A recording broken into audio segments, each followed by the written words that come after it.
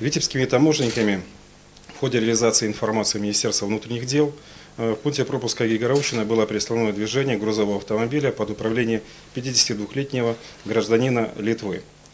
Э, По документам в автомобиле э, следовали лекарственные препараты из Литвы в Российскую Федерацию. В ходе проведения операции таможенного контроля с использованием инспекционно-досмотрового комплекса и привлечения кинологической службы был обнаружен тайник.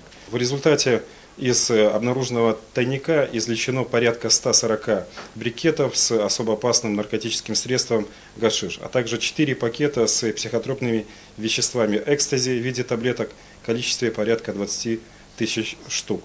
Общий вес э, э, наркотических и психотропных веществ составил порядка более 140 килограммов. Стоимость в незаконном обороте данных наркотиков составляет порядка э, 2,5 миллионов долларов США. По данному факту таможней возбуждено уголовное дело по части 2 статьи э, 328 прим. Уголовного кодекса Республики Беларусь. Водитель задержан в порядке статьи 108 УПК.